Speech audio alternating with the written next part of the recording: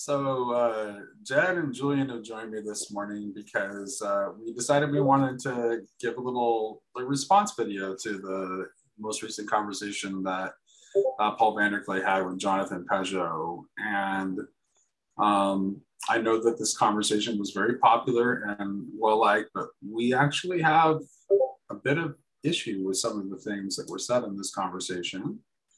Um, I want to start by saying that um, you know, uh, all of us uh, like and respect uh, Jonathan and Paul both and the work that they're doing. And we hope that they keep doing it. Um, but, um, you know, sometimes uh, we need others to point out where um, we might be, you know, saying something maybe we don't even mean, you know, if we thought about it more closely. So, um, um, and then I think hopefully we'll get to the end because I definitely have some more positive feedback, particularly for Paul toward the end of this conversation, where I thought he, to be quite honest, my general take is like he resisted. I mean, I'm sorry, Jonathan. I, I mean, not. I'm just this is just an analogy, but he, he resisted Satan. Like Pageau was very much was very much uh, offering a temptation to John or to, to Paul to put money in my purse. And Iago is a type of Satan, folks. uh, uh, to put money in my purse and to ride the status rocket. And Paul ends the conversation toward the end of the conversation. Paul is like, "No, actually, I'm interested in in extending my pastoral role, building community. That's what estuary is about." And tries to explain estuary to Jonathan Pageau, who I'm not sure if he really still understands what's going on with estuary, but he at least made a to his credit, he made an effort to try to understand it. So mm-hmm. it's not all negative feedback. So I wanted to start with a little bit of positive feedback uh, before we got into some of like the areas where we um, might have some pushback. And I'm just going to start by I'm going to just start. I'm gonna the way I'm going to do this is I'm just going to play clips that we kind of talked about beforehand, and then um, I'll play the clip without commenting on, you know, or interrupting the, that particular clip. And then I will, I'll pause the clip and then I will, uh, um, we'll talk about how we feel about what we just listened to. so let me uh, start sharing my screen.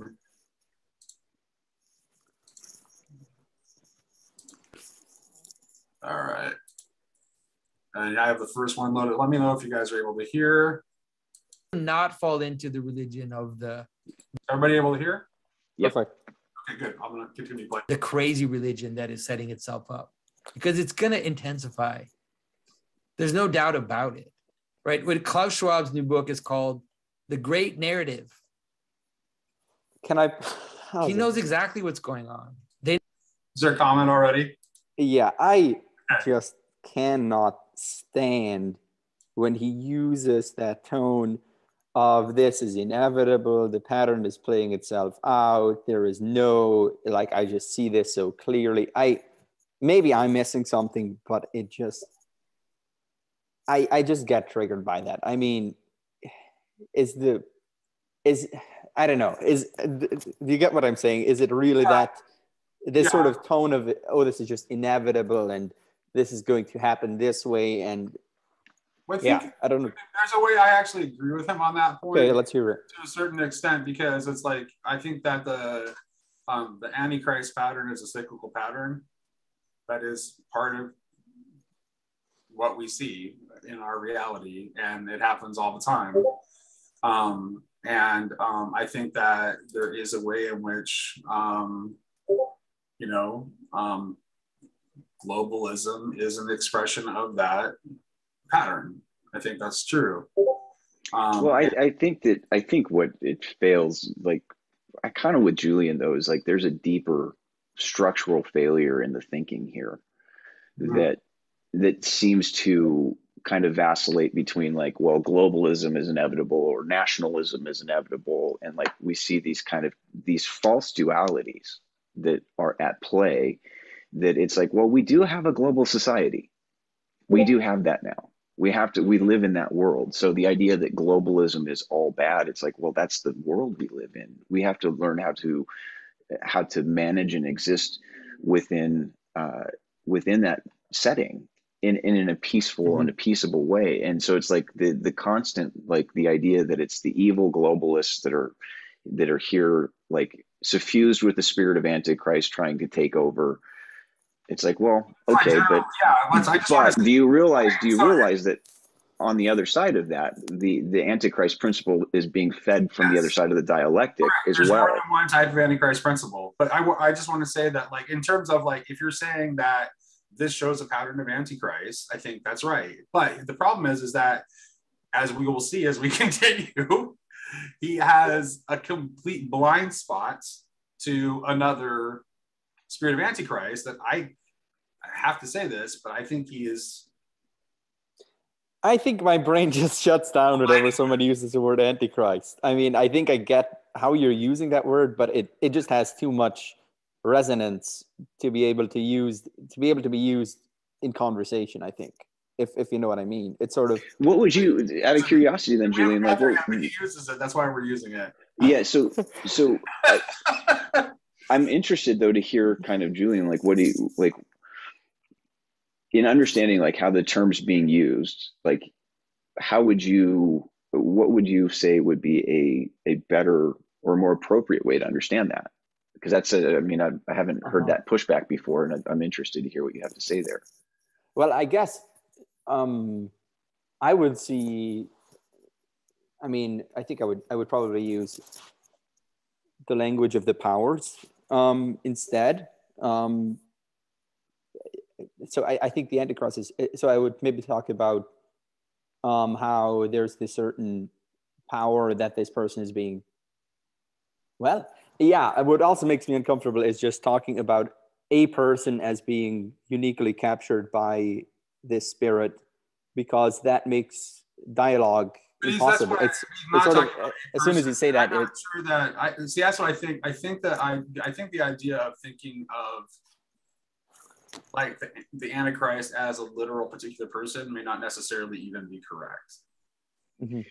Well, and I, I think that there's there's the um, like I think the overall, at least my my problem with kind of when we use Antichrist terminology, like oh, it's got to be you know uh, you know certain reading of eschatology, but what we don't realize is how slippery of a character that that really is. Like that it's like you could you can be accusing somebody else of being antichrist or or alignment with the powers and still be in service of the powers yourself you know? And and that's to me that's the deeper question is like oh i feel i feel vindicated in pointing this out that this person's antichrist. Okay whatever but like what about your own thinking?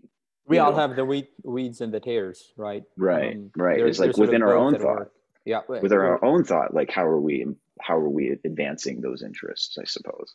If you, if you look at the way hobbes describes like his conception like of the state and leviathan like it's a monstrous parody of the body of christ.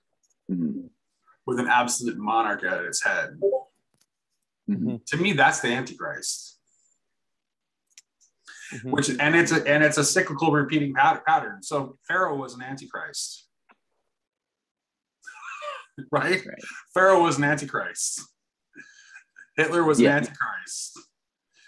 Any totalitarian, absolute jerk that's ever existed in history is reflecting the pattern of antichrist.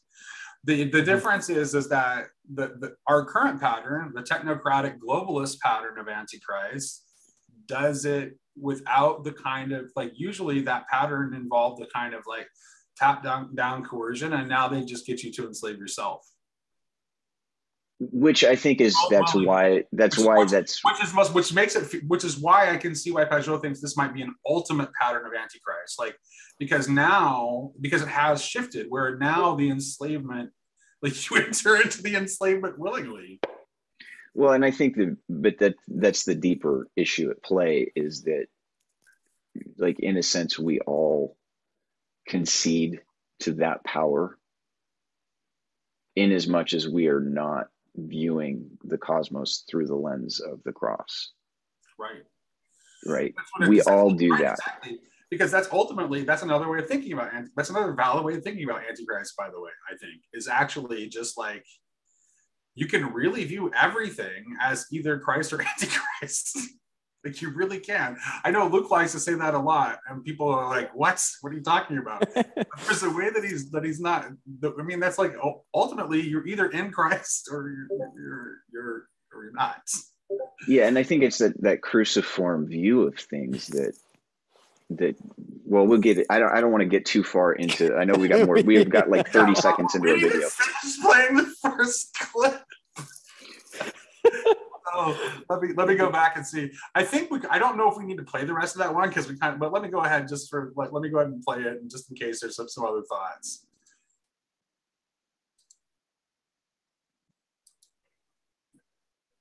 They know exactly what's happening. They understand that that story is coming back and that people need participation and they need sacraments they won't use that word but that's what that's what they ultimately are going towards.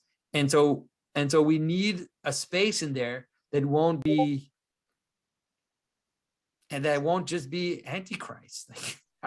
Okay so that's where that is the it's the use of they they and antichrist yes. right? Is is it you're already like if you want to look at it in like Girard's sense, you've already created the mimetic Correct. framework where you're going to mirror each other.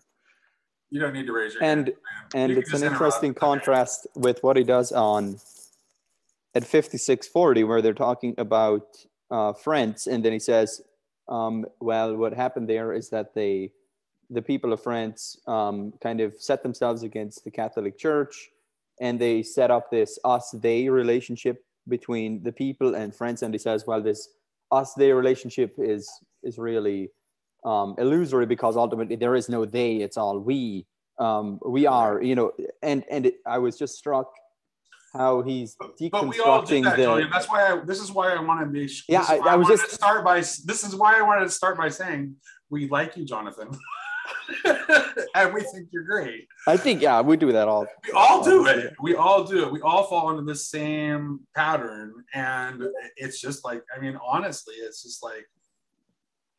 Well, and it's, it's but it's that's a, live out of a place where you're. But Julian's right. I think that the like, and it's the is that we we need to look at this as a we question not an us and them question. That's exactly right. And that it's a it's a much much more encompassing question when you're including yourself in it. Yes. Is is like I am under the question as well. You know, like like we were talking about with Barth, like you know, in, in his Romans commentary, like we are under the question. God's putting the question to us. And it's a it's an encompassing thing. And like what we like to do is we like to partition it into like this binary of us versus them because that leaves us feeling vindicated. I have the truth. They don't. We need to overcome them. And and i don't see that that again that's again not what's happening at the cross and it, so that's probably where i'll probably want to keep bringing it back to is like how how is that that kind of position and that kind of thinking how is that justified by a close reading of what's happening right, at Calvary? Right. It's, so, but it's, it's so difficult to pull off, sorry. isn't it? Right. A lot of this is well, a lot of this on Pageau is driven by his like understandably being upset about how you know draconian the COVID restrictions are in Quebec, right? Okay, yep. and yep. that's understandable, and I sympathize, and um, I know exactly where he's coming from and I get it. But if you contrast the way Paul Kingsnorth is talking about the same thing, where he humanizes and shows empathy for the people who have a different view than him, it's very, very different from the us them kind of hard binary that Pageau is setting up. Well, I, so I, I think, think Kingsnorth, I, Kingsnorth is managed, managing to speak to try to speak truth to the cultural moment from but doing it from a place that is much more like centered in Christ, I think, because of the spirit in which he does it. And the spirit in which you do things matters. I also think there's a difference is, and I think this is why I can listen to Kingsnorth and COVID, but I can't listen to Pageau and COVID, is, be, is because of the way they frame the issue. Um, right. Like when we were just starting the clip, he was talking about this book by Klaus Schwab, and then he says they, and you get the sense that what he's referring to as they is this very specific cabal of people. It's a conspiracy theory. The elite. So he has this conspiratorial framing of it, but Kingsnorth never. I don't think he talks about a day He'll talk about the machine.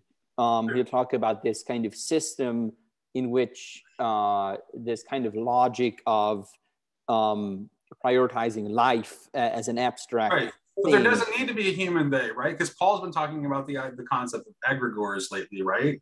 So you don't even. And that's fact, that's why I'm even wondering. Even need, you don't even need the direct. You don't even need the direct involvement of the principalities and powers because egregores are a principality and power like phenomenon that is an emergent one that comes out of the collective thinking of groups of individuals. So Michael Martin actually talks about egregores quite a lot in his work. And like one of the contexts that he talks about egregores the most is like corporate egregores, right? So you have like the egregore of Monsanto, for example, which is definitely an egregore. It's not a force for good in the world, people. I guess this is where I'd like to bring this back to our discussion on Antichrist. Like, right. can you use Antichrist language in a way that isn't conspiratorial, where we're not talking about a specific they or a specific him, but we're talking about um, this this. I, I think that's how we are using it. I think that, power, I think that there's a way system of logic. The Antichrist, so the, the, Antichrist somehow is a so what the Antichrist represents. So the Antichrist is not a principality or power, right? So that means that we need to think about the Antichrist is uh, is actually related to this idea. So he would be like the super egregore, like the egregore of egregores, right? That's what that's what the because it is because the Antichrist principle is something that is emergent from within the human. Well, I think that that's where, like, you know, where, uh, you know, the second coming in Yeats' poem, like, it's the spiritus mundi, right? It's there's right. a, it's the, it's the, it's it's an, it is emergent. It's actually it's actually us. Yeah, that's and actually. I think that's where the, the conspiratorial side like, of it, the conspiratorial like thinking, coming up like, like out have of you, the sands. have you guys watched any of um, Matt Christman's uh, Cushvlog videos? He's no. a he's a Marxist with um, and he's on Chapo Trap House, their podcast, but he does these just these vlogs and and he a, a year and a half maybe toward the beginning of COVID. Um, he started talking about the demiurge principle as a Marxist materialist, which was kind of rad. Yeah. Um, yeah. But like in a sense like we project those the conspiratorial darkness onto the other right yes. Mm. the yes. right the political right has a way of doing it the political left has a way of doing it but it's this it, it, it's the it's the diabolical principle of accusation right and, in almost any of these conspiracy type things there may be like grains of nuggets of things that may be loosely true in any conspiracy but it's it's loaded with this whole this whole um, this whole paradigm that is i'm going to use an accusation or my perceived truth not in order to liberate but to destroy my enemy right. and there's a, there's the that that principle it's like we, but we don't see that inside of ourselves and so oftentimes no, even when we exactly. think we have the truth we're using the truth in a way that is in service of the lie yes and in fact is this is why this is why i this is why i almost never talk about politics. And unfortunately i'm being forced to talk about politics to a certain degree because of the nature of the commentary on this video.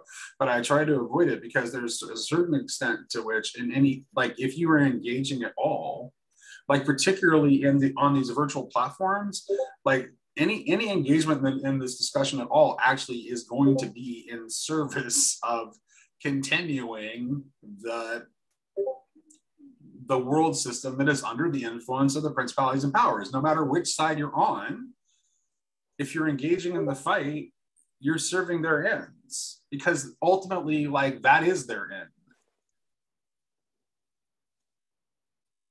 Mm-hmm. Yeah, it's it's it's a tricky road to walk because I mean, I suppose someone could become convinced that you know, there are these people out there who are intentionally um, working out this conspiracy. And in that case, um, they would be trying to speak the truth. Um, but I think mo- I don't know. I think I think the way this conversation is going with Pageau here, he, he's just sort of talking Well, about a general what- symbolic pattern. You talked about Pageau, just sorry to interrupt, but like you were talking about Pageau versus Kingsnorth, Kings North, and I think that's one of the differences between like Kingsnorth seems to understand that you don't you, you don't need to have any kind of cabal Yeah. to develop what's going on. Like it doesn't have to be a conspiratorial cabal. Like this this this can happen without you going there. And so I think that's like that's the difference. Like is like like he wants to create a Pageau seems to want to create a Pageau story of good guys and bad guys and a clear clear black and white and there's like a clear evil that we can fight and this is clearly his orientation because if you look at like it's God's dog project that's like um I'm not so excited about that because What's there's- emerging it from with, has a very within Dave's Vault sort of kind of feel to it, honestly. it emerges Well- from us. It emerges mm-hmm. from us, you know, and that's I think the hard part Yeah. about like the emergent property of the whole thing is like it's easy to go to the conspiracy, harder to say that these realities exist in the architecture of our own spiritual reality right now. And and that's where that's the where that's the hard better. part to this is where Peterson is better than Pageau because Peterson seems to be, because of his Jungian lens, he seems to be hyper aware of that, right? So he's like always like he's always talking about the need to look for those potentialities within the self. And and then and he'll say things like like in his Cambridge talk where he talked about like, you know, it's I should it's not about being right and we need to reach across divides. Of course, but then like the rest of us, this machine that has been created, which is another great metaphor that Kingsnorth uses, which is very much on the line with like Jacques Ellul's uh, notion of technique, right? Very, pretty much some very similar aligned ideas. Like we just are, we don't, we end up getting caught up in anyway, in, in spite of ourselves. Like, so the only way for Peterson to actually um, live out what he said is to stop raging on Twitter about everything. well and his his whole idea of like He and needs to some of step away from his phone. Well, some of that Jungian stuff too, like, I- and I'm not, I, I like Jung, um, so I'm not anti-Jung, but like some of the directions that Peterson will take that in, in terms of like becoming the monster. Uh, You Yeah, know, in these not- kinds of I'm things, just- it's like it's but- there. There is this acquiescence to again. It's it's like uh, it, it's this acquiescence to the very thing that we're ultimately like we're trying to overcome in the world we, we're trying to we're trying to we're trying to have a world where they're you know the monsters are no longer a threat You're supposed know, to be the tra- you're powers supposed are- to be becoming Christ, not the monster. Okay, let you me Yeah. push back um, here. This is a question I have. Is, I mean, I, I I'm not sure if you can can you entirely live within this kind of always overcoming this us versus them dichotomy. I mean, Right. if, if if you're like Peterson and if you're like, or, I mean, I, I think Pageau and Peterson genuinely think there is a kind of right side to this culture war. Like they think this side is wrong, this side is right, and if I'm going to speak the truth and not lie, I need to be on this side of the issue. So, and I think that I, I think that goes for most things. I mean, I don't think the truth is is That- I don't um, know how is, is in the middle. I don't think the truth is in the how middle. a thinking person can So- actually think that one side is entirely right and the other side is entirely wrong. Well, I think they would really they would Yeah, I don't know. I think I don't know how they would exactly frame it, but um No, I think you're right. I think they do think that. I do think that they think that. I think that they they believe that there is a right side and they think they're standing up for the right side and they see it as a clear black and white and which is why they continue to fight the battle. But I don't think that I don't think I'm like I'm neither woke nor anti woke. You know, I'm not like I don't like it's not like which is like a classic gen xer thing to say nate yeah, I'm very I just I wonder know. I I just know. wonder often if that's just a cop out, if that's just an easier path to walk than actually saying, okay, I disagree with you guys here, here, and here, and you have this point right and this point right, but Right, yes. ultimately, I think this side is that, more right. that and what going reaching to- across the divide this- would look like. It wouldn't be like so instead of like just raging, what you would be doing, you like you would start by, hey, this is the actually the best way to do it is to start with, I think that you've got this right. Mm-hmm. Right? would be to say would be to offer up to the person that you you think that you have a problem with you offer to offer up first i think you got this right which is like why we tried to start with this video with some positive praise like jonathan pageau has done a lot of wonderful things he has got a lot of stuff right i have been enriched by his work as have many others and um i this is not meant to be a takedown of jonathan pageau in any way. Go ahead. I i think this is where this kind of meta symbolic structure kind of uh, you know i think that's where, where it actually makes the conversation more difficult. Because if you think that there's a kind of okay um, so there's this political movement uh, maybe you could call it wokeism or whatever and it has this intrinsic shape and structure and it's moving through history and it's just sweeping us all with it you're just seeing it from from a kind of 1000 foot view but you're never entering into the particulars and having those difficult dialogues and reading the books and and thinking about all of the specific issues that this huge general principle um, is supposedly embodying.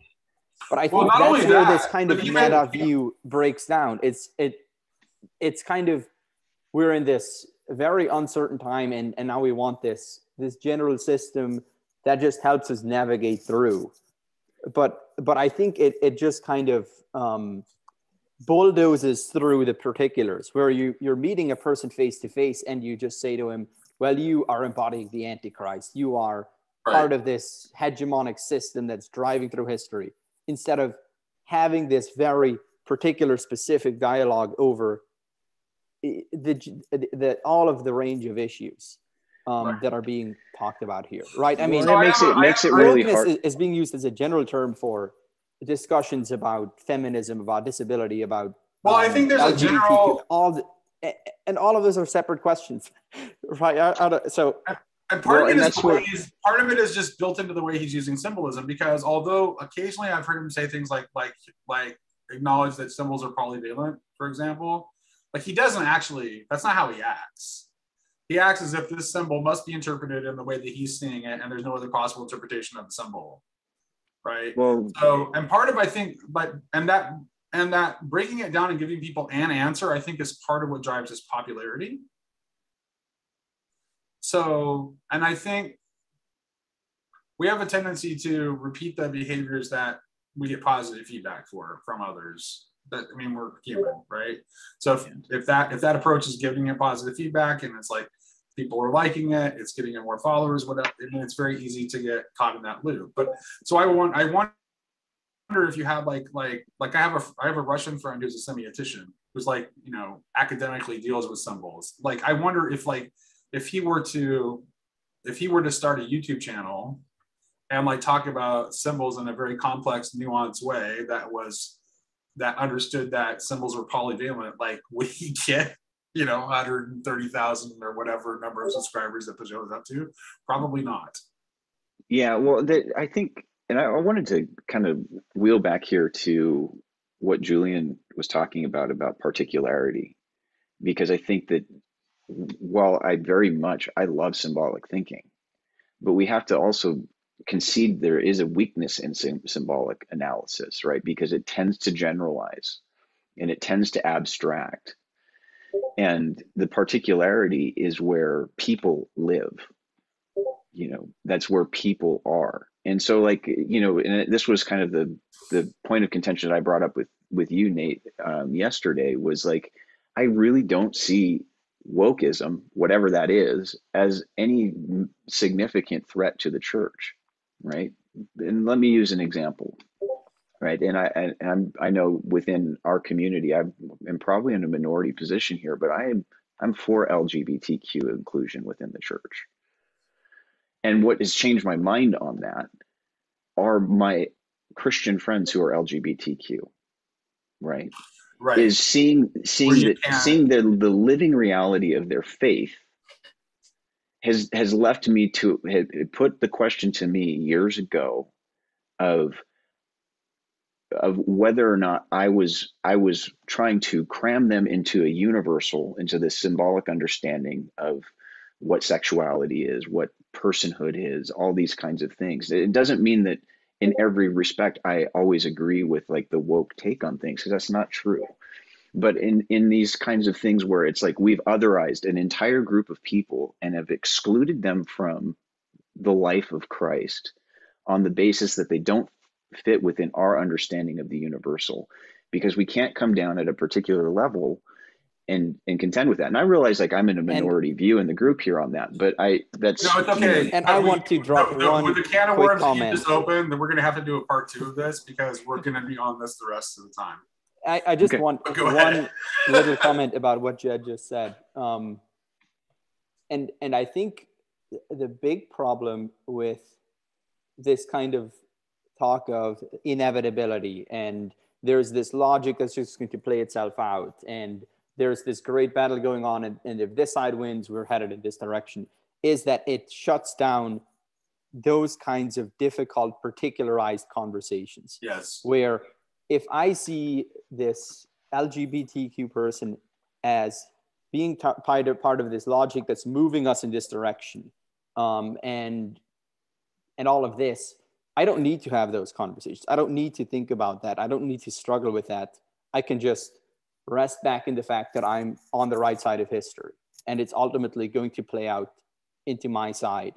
And I don't have to do the difficult work of unsettling my positions and having those conversations and being in that place of, I don't know what my position is on this, or um, I might have to change my position on this, or I might have to I don't take think either side understands sexuality to start with. Like, like right, so ill, Ill, Ill listed uh, sexuality is like one of his plastic words, right? It's like words that you know been filled with like so much meaning that they end up like being so stretched that they just like have like no real meaning at all.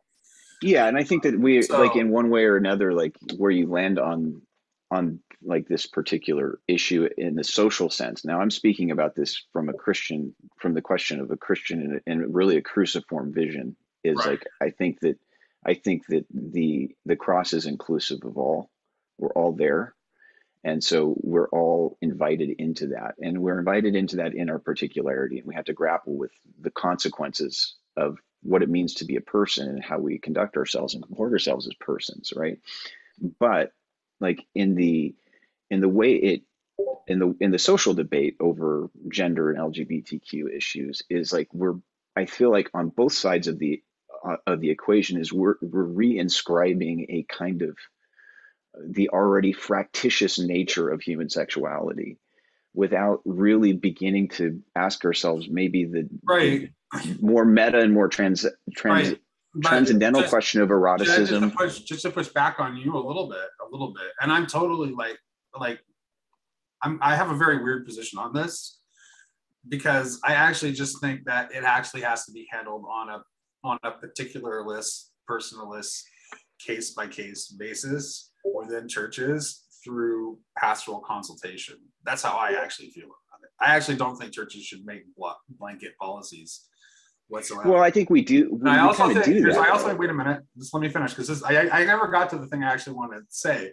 Because I don't think I also don't think it's like it's not right to ask the church to just like take whatever the culture has decided the meaning of this word that has become a plastic word is at the moment in this cultural moment and it's like that is the truth and the church just has to acquiesce to that and must bow the knee to that i don't think that's right either just as it's absolutely wrong to like make such a ridiculous point of emphasis of excluding this particular group of people in the most absolute sense possible we're not making any move toward inclusion which is like I, which is like i kind of like like the weird dance like the people i think that get this the most right are people that do this like weird dance where you can't really figure out like where they stand on the issue.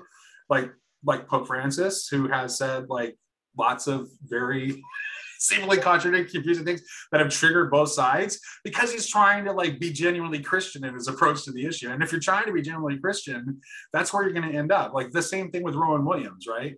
Like Rowan Williams is no longer Archbishop of Canterbury because like he basically angered both sides by like refusing to like by by abstaining from voting for a gay bishop we said he couldn't vote against because he thought he would be a good bishop, but he said he couldn't vote for because Right. I and again, uh, ambiguity of the I get, I, I understand that, Nate, and I think like I appreciate the kind of the ironic um, ambivalence within that kind of a position, right? That it's it's really the heart is like, hey, I, I don't want to, I don't want to take a side on an issue. Um, I, I appreciate that. Um, No, no, but no. I think I'm saying that. No, I'm not saying that. I'm not saying that. I, I think it's a. I'm what I'm saying is that Well- taking a side is a trap.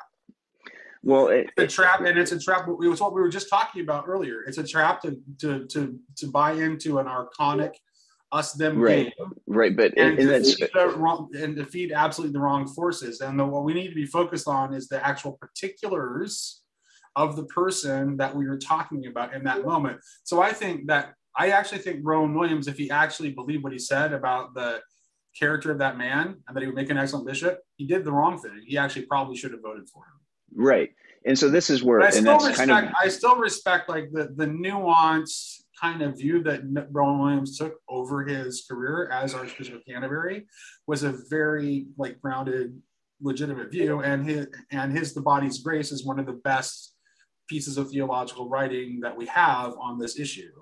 Right. And so this is where I would push I'd push back though on and I agree that Rowan he should have voted for the bishop. I mean I I don't have a problem for that. If if somebody's qualified then they're qualified kind of issue. But um I think we also have to be like historically cognizant enough that Christianity represents a um represents a side it represents a perspective it represents a it represents a kind of a a, a historical narrative See, that's what Pageau's doing though. Like so, And- this so- is a good. I think- this I is a think- good place like- to like, move where- to where the are we Francis. standing- where- where- to the we Saint Francis standing? If we want to critique Pageau for doing that from his perspective, which is obviously more conservative, right? Like, if if we want to be able to legitimately critique that, we can't do that while at the same time saying, no, actually, Christianity is about this side, and then and, take- and it's not that's not and and, and see that's where side. Yeah and I, I think that i think that julian's right. We definitely wanted to jump on but I, I'll, I'll leave i'll leave just my own perspective on this question here. At this is that we have kind of represented a, a cultural phenomenon a side of culture right? We have.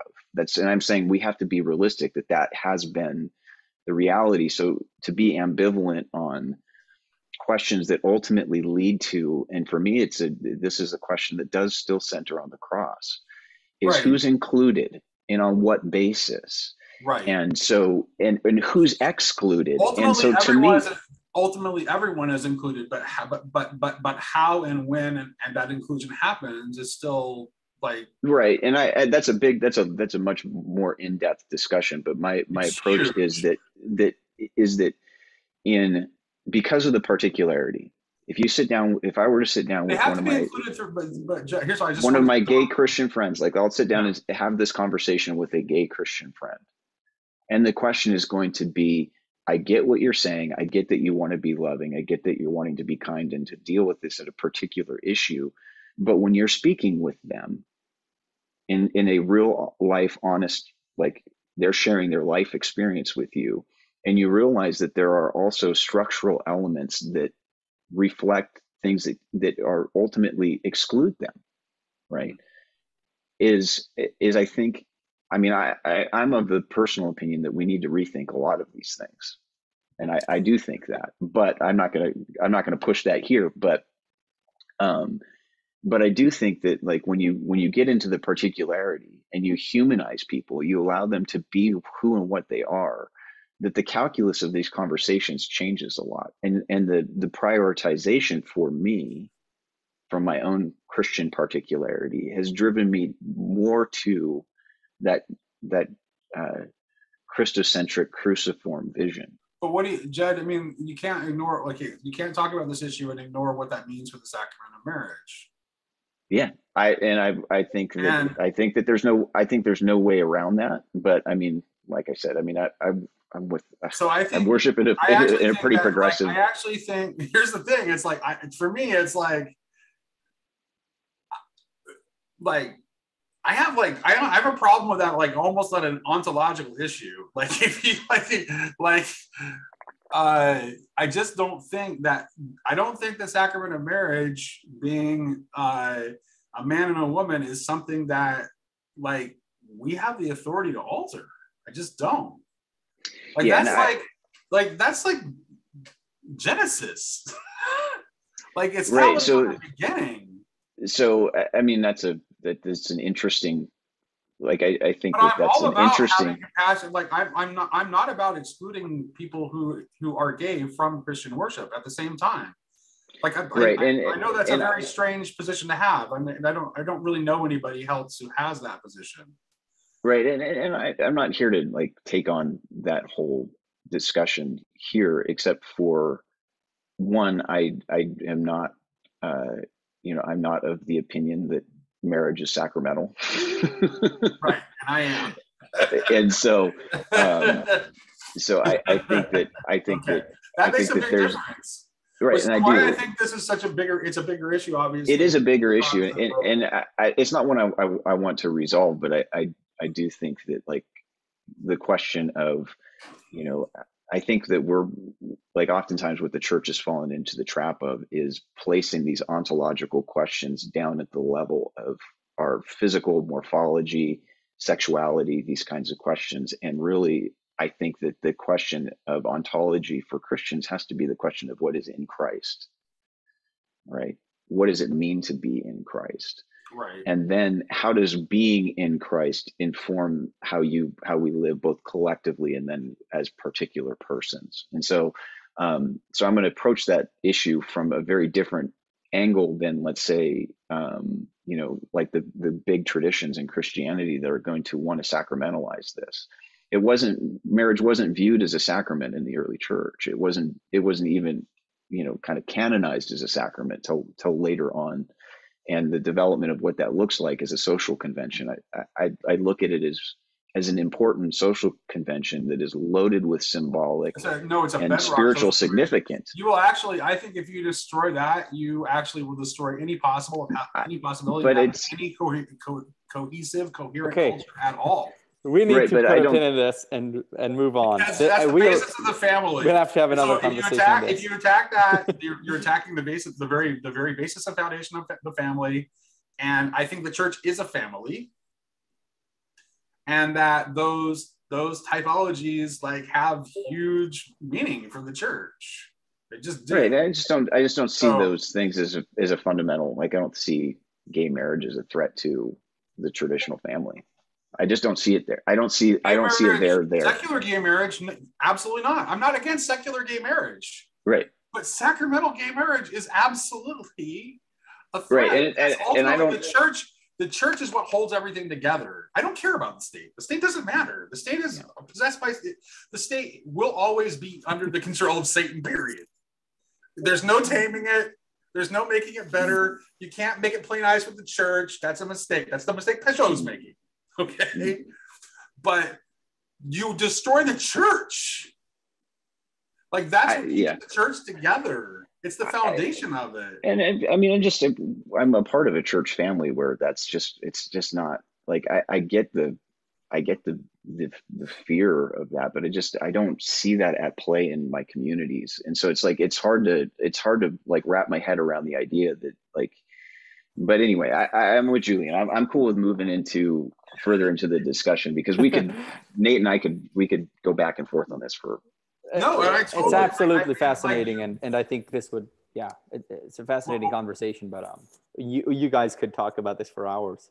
For forever. That's why I said yes exactly. It's just like it's because we're like we have I like I have a, I understand like I'm more sympathetic to where Jed is coming from than than most people who would like draw the same hard line that I'm drawing because like well for one thing it's like to me it's not like I mean I have I have a I have a gay daughter right I have my, my dad is gay I have an aunt who's gay it's not like mm-hmm. to me it's not it's not something it's it is particularized for me it does yeah. it does yeah. have particularized meaning in my life and yeah. I do and I do like I have gay people in my life who I love right and if they, and none of them happen to be Christian but if they were Christian, I would be glad that they were Christian. And I would say, here's the thing. To me, the other thing, Jed, is like I also really believe and I really seriously believe in in, in the compatibility of unity and multiplicity. So the problem I have is like if you want if, if you're if you're a gay Christian and you love Christ, then just find a church that is already affirming. Yeah. Don't try to like you're not there's nothing Christ-like about trying to alter a church that is not that has and, and that conservatives don't have no reason for wanting to draw that line that they're like there's there's there, there's something real that they're standing for there. And I don't think that at this point where we stand in history, we actually understand what the consequences might be if, like, every church just gave into the cultural zeitgeist of the moment and said, okay, let's just, you know, let's throw out sacramental marriage and just be affirming. And I think like part of this has to do with like like the, the whole sacramental marriage thing, which is is kind of key here. And Protestants are kind of, as far as I can tell, because they don't have sacramental marriage, as far as I can tell, they're kind of they'll have to eventually. I don't see what they have to stand on, honestly, because to me that's like that's like kind of like the only like ultimate line of defense. Right, and and, and I, I think to try to connect this to, to some of the the issues that Pageau and and, and uh, Paul Vanderklay are dealing with is that um, you know the question the question to me of how how we connect some of the big universal type questions to the particular right? Yeah. is is it is that we can't we cannot assume and i, I feel like this is it, it so many conversations go this way is we assume the easy answer. We assume that like in stating our position that we understand the implications of what our positions are. Right. Fully. and i'm not uh, well i'm not doing and, that for sure. Yeah. I'm, I'm i'm i'm actually making giving a very uncomfortable answer. Hello? No cut off we lost nate there julian we're, we're staging a takeover of the whole conversation now i i find this this really fascinating because this is this is an issue i'm i'm kind of uh, wrestling through and, and I don't have, um, yeah, I, I won't say that I am settled on one position or the other, but, um, right. And, and, I, and I'm not here to like, I'm not here to like evangelize. I appreciate, on that, on I appreciate point. hearing your perspective. No, Jed, you um, make a really I, powerful I'm, case. I'm very sympathetic to it. Yeah. Um, and so, but, but, but my bigger, but I think it's illustrative of the way that we, like again the question of what what is like how much of like you could get into the question of continuity and discontinuity between the eschatological life and the earthly life because we're kind of leaning as, currently as, as, an Episcopal marriage is still a church sacrament even though it's not like I'm not a member. not okay you're not a member. Can I okay, okay. can I um draw a contrast here um I wonder I, I have been thinking about this and I'd like to run it past you guys um I wonder if for Pageau Christianity is about logos, but for me, Christianity is about liberation. It's about freedom. And I hmm. wonder if that draws a contrast where Pageau sees Christianity as the structure of reality, as the kind of great code of um, that sort of underlies, it's the sort of, um, I don't know, DNA of of creation. It's the kind of um, the structure that holds everything together. And I see Christianity as the way, um, the way of freedom um, in the midst of this this kind of world of of competing powers and um, and forces. Jesus opens up the way of freedom. Of uh, you know, it's a, it's a I don't know, and I'd be interested to hear both of you describe what do you think I Christianity think is ultimately about? Is it about logos or is it about freedom? And and does that connect with the disagreement you're having about um, this issue? Hmm. Or is that a bad taxonomy? I don't know. No, I think I think that it's an interesting taxonomy because I think that we it's I think some of these like there's no way you can't import psychology into this. Like we all kind of have our own um, kind of psychological tracks we're most comfortable traveling on. And I think that that logocentric track that that Pageau is looking at, like there is appeal to it because I think there is a there is kind of a source code reality to Christ as logos. that that encompasses the whole structure, right? But I also think that like we still exist in in a world in the midst of powers that are um, antichrist in nature, right? That are yep. they're leading us away from that path of liberation into further bondage. Right. And I'm not and, using and, liberation in a way to say obviously like the sort of libertarian just go do what you want. That's the opposite of it. That's I almost heard it. In, I almost heard it in like a Taoist key, like when you were saying that he's the way. You know, is like oh. there. There's a sense where when I was hearing you talk about it, it's like there's no. This is the path of liberation. Well, the, the, yes. and I think that there's that, that that side of it. Like to me, there's a there's a deep appeal into that because one way or the other, we live in a world where however you want to construe those powers, they are ensnaring and they're enslaving, and you feel the weight of them in your daily life every day.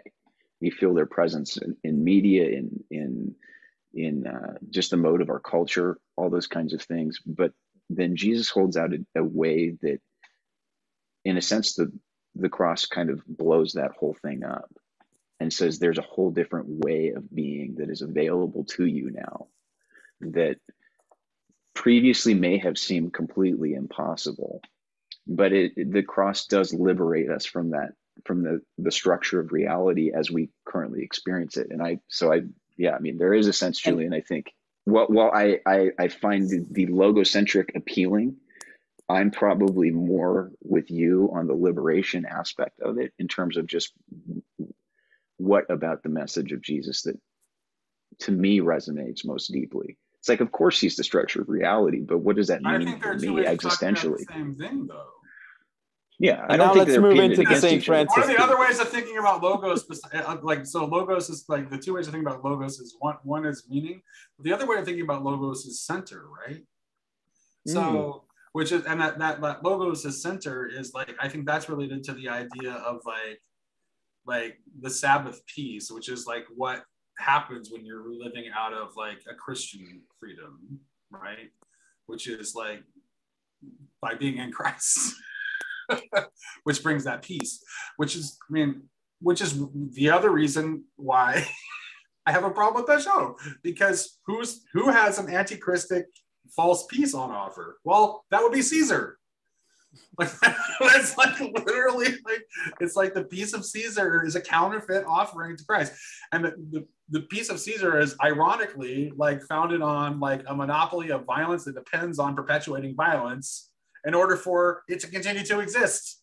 Mm-hmm. If the violence stopped, then it would have no justification for its own existence. So it has no, it has, it has every vested interest and continuing to foment violence either against foreign and for enemies, foreign or domestic. So, yeah, yeah, I'm, I'm interested. I got I've got about thirty minutes, and I've got a hot brunch date with my daughter. Um. So, uh, um, but I, I would like to get into that uh, Saint Francis um, yeah let's do that. Let's try to like yeah we like and we'll definitely we'll have to do a part two because we had spent so much time on that. But you know we've been talking about talking about that for a while so it needed to happen. You have to do it. Yeah it'll definitely let me play the st francis clip. Let me let me let me get it copied and pasted here. Then i'll try to shut up until he finishes talking this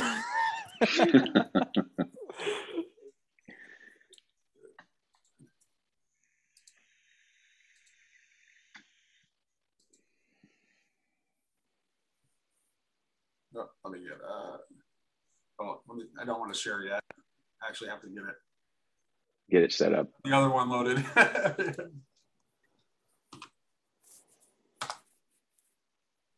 he tells his sister that you don't Okay, there we go. Let me just like rewind a little bit. Okay, and now I can share.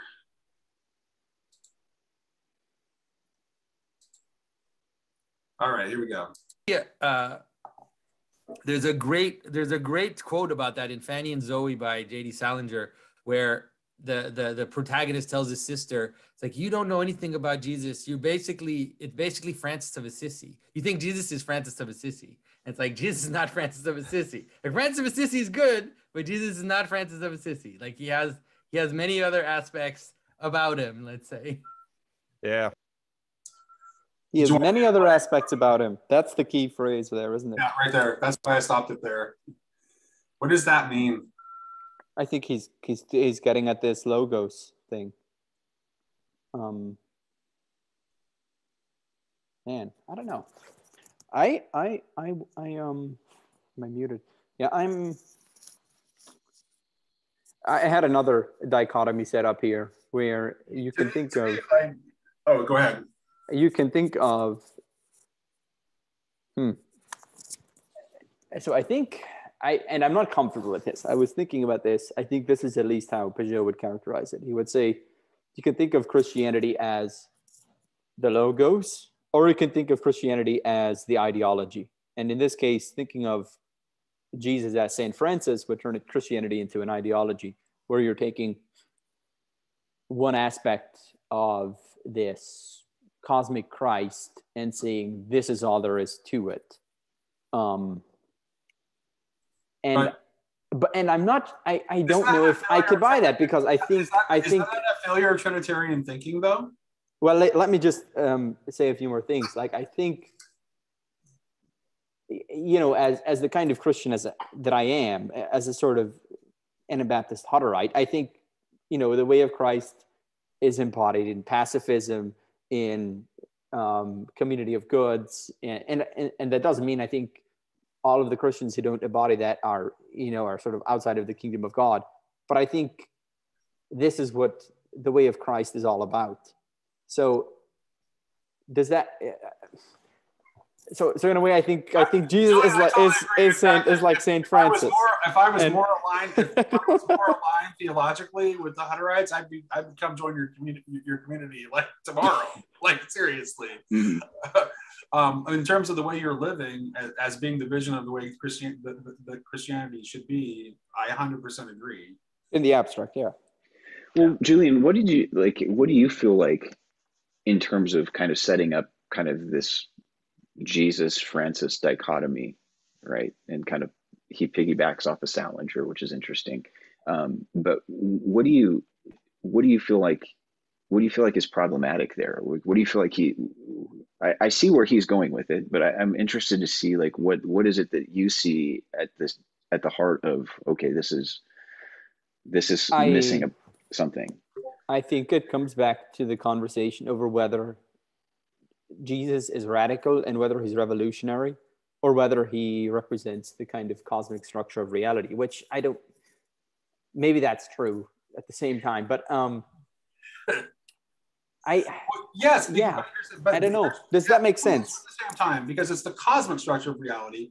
It's not the reality that is instantiated here on the earth, because the earth is under the rule of the principalities and powers. It's, it, Satan has dominion, but he keeps ignoring that fact. Well, he ignores that fact because essentially, like the kind of like the branch of orthodoxy he comes from seems to not believe that. Hmm. um, which that that became clear to, clear to me within the um, the Father Strickland conversation. I know that this is not universally true of all Orthodox because for like Bulgakov, for example, like clearly associates the the the the the, the, the, the state with the forces of the beast. Like there's a one-to-one correspondence and um, political thinking is all about enchurchment, like the enchurchment of society. here here is is where i often um wonder if i disagree with Joe is when he talks about the cross Yeah, and he I know. describes jesus going to the cross and he says he has the crown of thorn, thorn, thorns on his head and he's naked and, and so he's kind of presented as both the king and the thief and i fundamentally disagree with the move he makes there he says so this is establishing the top of the hierarchy and the bottom of the hierarchy. But from my understanding, what's happening there is a redefinition of power. He's saying the king is the thief on the slave. And what true power looks like is this moving down, this um, lowering of oneself, this, this renunciation of power. Um, Right. And I and I think this this connects then to pacifism, and this connects to and, and, and so ultimately, I think Christ does take a position on these things. He takes a position on whether we should be pacifists or not. He takes a position on whether we should be um, communists or not, or on whether we should be um, renouncing power or not, uh, on whether, and and so I think Jesus is an ideologue and not the structure of reality. If that, I don't know. Yeah, I, I, there's a there's so much there, Julian, that I, like really for well, me there's a there's a res reality because he's God. So you can't deny that. Yeah, yeah, that's right. And I, I don't think thing I said was like, but, but that's this is but this is also this is this is actually tied to my critique because my critique of what Pageau is suggesting is like there's a breakdown of Trinitarian thinking because he's wanting to think about like Jesus like Jesus as the as as the human only, right? he's really only talking about the human Jesus when he says that, when he makes that comparison. Hmm. Because when you think about when you think about Jesus like as like the divine son that's part of the the holy trinity whose essence very essence is love right?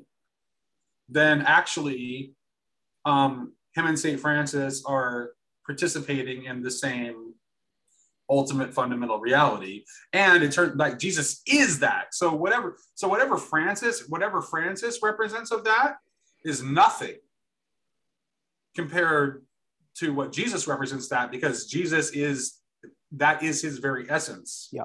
As as part of the as part of the uh, of, of the of the godhead. Like that's that's just he is the embodiment of that. Well and i think that that's where like like with Julian, like the like where where we have struggled historically as Christians is to see the radicality and the revolutionary aspect of what God's disclosure in Christ is actually representing. I mean, it, you know, the the perverse contrarian in me sees it sees the cross as the act of cosmic rebellion, right? is that it it's it is the it is the upending of the old order entirely and yes. in a in, in an exposure of that order and so what what is curious to me and this is just a historical phenomenon this is not you know Pageau is at the you know at the very end of this process right? That we are all kind of at the end of this process but it's like kind of like trying to use Christ to reinforce the social order when it's actually the social order itself that has been called into question is like well christ is is the is the substance of reality. Then the question is what reality? Which reality? Because I, my question is i don't think we live in reality if if christ is the reality is the structure of reality and yet, our, and yet christ yeah and yet christ and yeah it was and you it was wonderful when you had your little video on your own journey to universalism you, you focused on on the moment where where Jesus where Jesus says, "Father, forgive them, for they know not what they do." Right. So it's right. like even though he's like, so there's no like even in even in like completely showing how our idea of power is wrong and that it turns out that love and ultimate sacrifice are power and not what we call power. Like even while he's doing that he does he does it while still forgiving. Like just further demonstrating the truth of that yeah yeah and that's the that's exactly the point that like i think that the radicality like you know we have to begin I, I think what happens is like is that the my concern with like the kind of the reification of the symbolic order. Okay, cool, that's awesome, and I I like that. You know, I like that about Pageau. But if it if we're if we're kind of revitalizing the symbolic order and this enchanted world in a way that is in service of kind of that archonic structure of the world that's already present See, Jedidiah, what, what's happening here is that you're you're you're this kind of woke other side that he's ultimately resisting. So that's what you would say. Yeah, and and and I, to me, it's like well, those categories like they just don't they don't ultimately obtain because if we like, you know, so Jesus comes into an enchanted world that is completely enchained to its enchantment. Like we're chained to our disenchantment, but it, they're chains nonetheless. And he's he's breaking that he's he's liberating us from that reality and the and it, it's that radical liberation that is able to in in the very act of of submitting himself to the cross christ has exposed the problem of politics the problem of religion the problem of debt the problem of poverty the problem of power. He's he's exposing all of these as problems in our world. That and it, it, it what and, and in going towards like well we need to kind of hold this world together is it robs us of that apocalyptic imagination. so, so and I, I want to stick with this so give me a second give me a second here is that the apocalyptic imagination that the world can actually be different. That that the world that Christ is introducing us to is radically different and it is it is the task for us to attain as opposed to acquiescing to these old structural models that will only ever produce repression, oppression, and ultimately misery. That's what we're being liberated from. And, and the idea that we can stay within those structures, it, it tells me that we lack the imagination to see the world in a different way. We lack grace. We ultimately lack grace. Grace is this new possibility which opens up what would be impossible under the old structure, under the old Adam, under flesh, under the order of the kingdoms of this world. Grace is the new possibility of the kingdom of God, which makes possible what is impossible. Um, and, and that's and you see where is grace communities like you're doing the breaking in of something new in Pageau's symbolic order. It's like this order has stood there from from all eternity, and now Jesus comes to reify it and to reestablish it and to show us the clearest, just to um, sort of show us this symbolic order in all its splendor. But I see Christ coming into this uh, world of competing forces and powers and economic structures and religious structures and political mm-hmm. powers, and he opens us up in into the Trinitarian life of the kingdom of God, so that it's possible for us to exist under these structures of dominion, but to be in this free new relationality of the kingdom of God, to sort of move underneath these powers and to sort of weave this new world of the resurrection within the old. I think that's what's happening. And, and, you're, is that kind of what you're in a sense? Are you summarizing? I mean, I loved what you're saying. It's like just kind of a summary of like this Hutterite. What I would say, what he was what he was ultimately doing was make it possible for us to see what was always there. Well, and I don't know. And, is he? Well, maybe he is. Maybe he's not. I don't know. That's what I wonder. Well, I think what that is the continuation the, between the old and the new? That's the profound that's side of like the Hutterite. That's why the bondage. That's why the. I think that's why the bondage metaphor is used so often, right? It's like that. It's it's the bond. The bondage. Well, and also like blindness, right? Like it's really is about seeing, but there's a way in which the event of the the the event at Golgotha like makes it pop make it, it opens up the possibility to see it. But it's not but it but it's an eternal event. Ultimately it's it's no different than the moment of creation to be honest with you.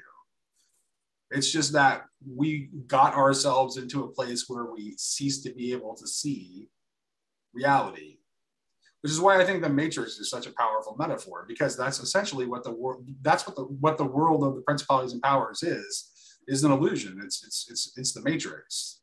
The kingdom is what's real. Yep. And now right, we are able to see it.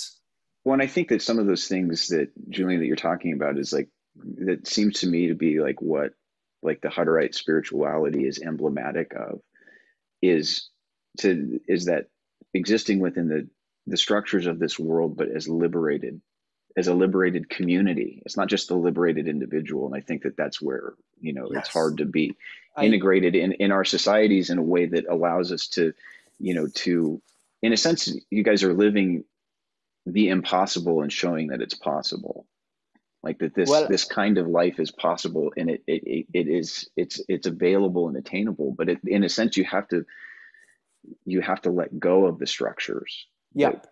yeah. I think I think it's ultimately a, a, a kind of spiritual reality. It's a spiritual freedom. It's it's a it's being drawn into the Trinitarian life of God. And and I, I see it as sort of this and and so that's why I don't think it necessarily has to play out in this kind of separate community like the Hutterites. I see Mhm. this as a kind of network that's possible within any kind of structure. It, It's the, this forging of friendships and connections, which, which, which are sort of a reality that that's underneath the the existing one. Right. One of the debated Um, translations of the kingdom of God is within you, which, which of course was the time Among Tolstoy's uh, seminal work in, on Christian anarchism is that it's among you, right? And I think that actually is probably right, it's both. Especially especially when because that also makes you understand why Christ says wherever two or three are gathered in my name. That's like that's the presence of the kingdom, folks. Like that is like even if it's just that, like you like like if you are if if there is alignment with the spirit of Christ, any any community like even if it's only two or three people and if and if, if there isn't alignment with the spirit of Christ, I think any the kingdom. Any community community no how no matter how anarchic and and kind of separate from the how, no matter how radically it tries to separate itself from the from the political structures and economic structures of the world it's not going to be this kind of genuine freedom. It's going to get caught up in a different logic. So it, i think it's only the the trinitarian power of god which ultimately frees us from from from the, these these alienating forces Well, if you look at it, Age. Julian, like I mean, you can look at you can look at history. that makes sense And there's like you can Mhm. see that the only the only like long-term successful like uh, communal living structures all are explicitly faith-based like they're all they're all like i mean you, your your community is a perfect example The the Amish, you also have the kibbutz yes that's exactly where i was going Bruderhof. you said it before maybe but yes the kibbutzes in israel it's like so like and whereas like the the communes that formed in the 60s around just you know secular ideas only all collapse very quickly so Yeah, well, there's something to- too uh, that I that kind of just this phrase that popped in my head that like I think like the the concept of like a subversive presence. Yep. Like Mhm. the, the the the church is always in Christianity has always been at its best in the world when it's a subversive presence. right Like is not the not the presence that you know that baptizes the powers that be, but the No. the, the presence that calls those powers that be into question the, the themselves. presence It that was often so is that powerful- despite the itself. presence that was so powerful that it that that that it that it made itself appealing to the powers that be so that the powers that be wanted to be joined to it Yeah, That's and I think that was and I think that that's where that's where that was like the maybe our fall from Eden, like in terms of you know we we kind of we allowed ourselves to be seduced by But that kind of want to be power. fair to our our early for Christian forebearers. It's like there's no way that like you know uh, that as a church that have been living under like you know persecution all this time that there's no way you would not see this as a blessing and the Oh yeah, for sure. and the hand of God operating in history. There's no way you Sure. wouldn't. But and we can only make that call is judgment from the vantage point of history, right? We can Right. only look at that historically and say, well, maybe this didn't get us to where we. What I um, don't understand is is what I don't understand. Even though I have like I'm not I'm not absolutely critical of Constantine. I don't think that Constantine is this absolute diabolical figure that ruined everything. Neither do I think that like like this move to like say Constantine fixed everything has any historical validity whatsoever. I don't understand how you're reading history. I mhm, really don't. mhm. Yeah. Okay, we should move on. Do we have time for one more little segment? I think you guys wanted to discuss the money section. We could quickly jump Oh, to yeah, that, yeah. But un- we're not we're out of time. So- Maybe we should Other, otherwise, it's going to be an embarrassing six minutes of commentary that we that we covered. What was that? we Yeah, could just cover the first yeah, six mean, at minutes. least the part two. Well, it really, it was really most of the stuff that we wanted to give some like constructive criticism about was within the first 10 minutes. So it's actually not too bad. So we might actually only need a second part. So um, is there any like final observation that anybody wanted to offer? Or like something, is, is, does somebody want to say one final nice thing? Well, this- I, I yeah, I, I think that with Paul, like with Paul, especially like I think that his, um, you know, like the idea that that Jonathan brought up of like you know money being able to extend, use money to extend oneself, right? Is that Paul has has done a, a really interesting job with estuary and everything that he's worked on. Is that this is not a there's not an economic driver behind this. Is that it's just it it's it's one man's personal love for Jesus and to see that replicated and shared in the lives of others seeing it spread. and seeing it spread that that's the extension it's the it's the christ in me that is extended it's not the it's not the me and the you know my my platform my work my this that I and i, I really something- appreciated that about thought paul about that. I think that's something he might want to walk back because, like, there's no like extension of the self is not something to be desired. I I'm actually not hmm. quite sure about. I'm, I'm not sure if I follow the critique here because I took Pageau to be saying that he has all of these wonderful ideas about what to do with his projects in the symbolic world, and having more resources makes it possible for him to do that. Um, yeah and i think that at the, if if that's where he was i think it was just when Yeah, he said he that, said that that earlier. money when he said that i was like yeah that's totally That's fine. i have think it's just the idea that like it's that the money is what is enabling that though like i would say like no jonathan like let's peel the layers back here of where this comes from was when i was hearing him describe like the years and years of discussion that him and his brother had had about these kinds Yeah, of things. and when he talked about like, like That's- like coming out of poverty and like finally finding some modicum of success, it's like yay for you, Jonathan. You deserve it. You're doing great stuff. That's all fine. But what's being extended But is that is that years of work it's years of thought and study and this- growth this that's what's that being money- extended but val- validating the cultural okay. notion that money is power was not like that's what I'm saying. I think that like I think if he would have had a chance to think about what he was saying more carefully, he might want to walk that back. a yeah I. I didn't think that it was like i don't think that's like was indicative of what he really thinks Has like fairly dark ultimate associations. Yeah. Because I think that like you're you're advocating the extension of the spirit of mammon instead of instead of Christ. I mean that's what you're doing. Um, so ultimately money isn't power.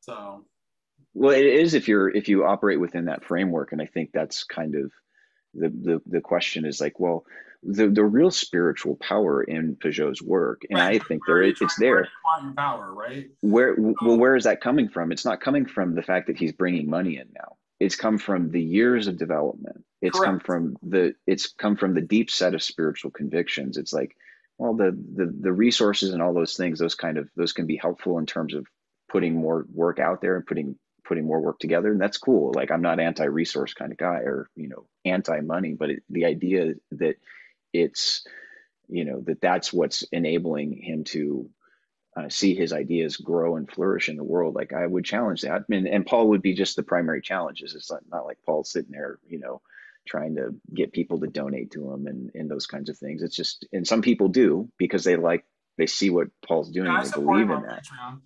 yeah so and that's and that's a really a wonderful thing you know and it's good that it helps paul out with his ministry and also what he what he does. But i just i think that the challenge is just it's easy thinking for us all to slip into that in terms of you know the kingdom is that is the loaves and fishes is the principle of multiplication and extension but it, it's coming from that vital spiritual connection and we don't want to the pushback i would give to Pageau there and i don't think I doubt that he would disagree with this very much because he doesn't strike me as like a greedy guy or you Not know, some money grubbing capitalist No, or anything just, like I that. It's just just it was an unfortunate thing. It was Yeah. an unfortunate thing for him to say.